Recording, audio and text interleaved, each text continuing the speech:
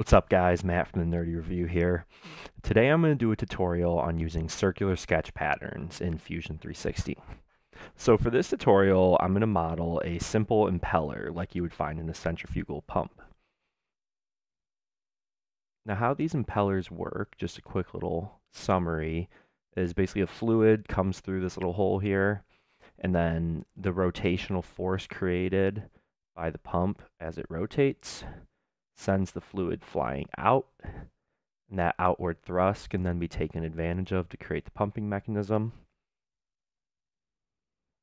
And that's a very, very basic summary of how this works. Um, I probably will make a video of 3D printing a little centrifugal pump here and showing how it works in action. So stay tuned for that. But getting started, we're going to create a sketch on the top plane. We're going to create two circles, one for the intake port. Whoops. Meant to do four inches here.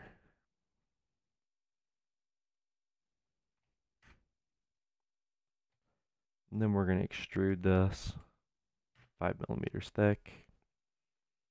Okay, so now we're going to sketch the vanes of the impeller and for this, we're going to start a new sketch.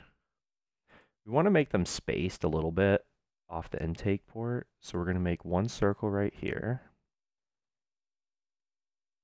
And we're going to make this 25 millimeters.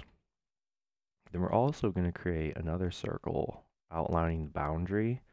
And you'll see why in a second once we start sketching the splines for the vanes. Okay, I'm going to create a couple lines here to use as reference geometry so that I know where to place the start points for the splines. I'm going to select all three of these and make them construction lines. Then I'm going to set these to a distance of 1.5 millimeters, which will give us a total thickness of 3 millimeters. Now I'm going to get started with the splines. We're going to choose a fit point spline, and we're going to use these two spots as our start points. So for the first one,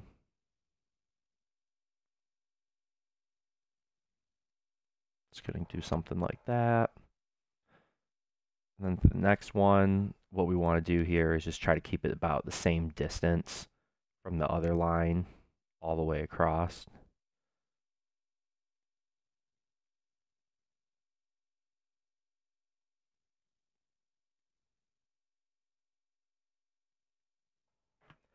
Okay, and now we're going to use the trim tool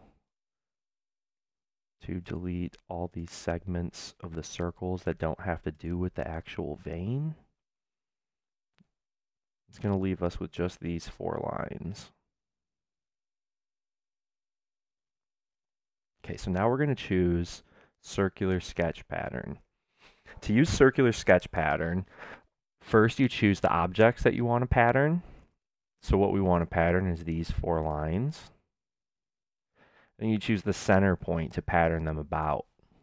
So we're going to choose the middle there.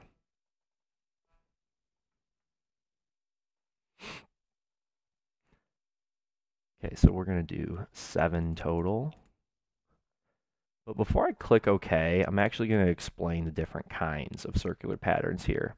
So right now we're doing a full circle, so it's going to model it as if we're doing a seven of these vanes in a complete circle.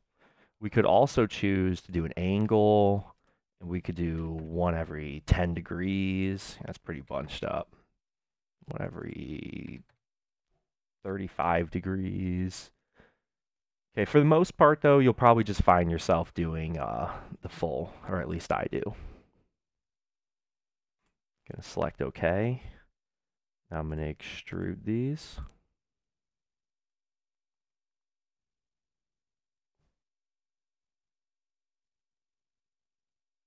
Twenty-five millimeters, and boom, we have a simple impeller. Okay, and again, stay tuned. I'm going to 3D print one of these soon and, you know, design the rest of the pump around it. And we're going to see how it works. Thanks for watching. If you like this video, you can click like and subscribe and stay tuned for more. Have a great day.